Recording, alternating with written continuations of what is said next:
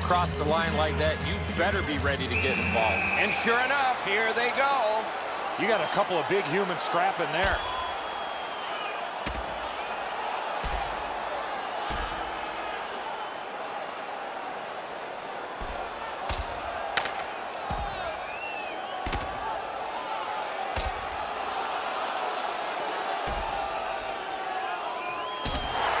The scrap is over.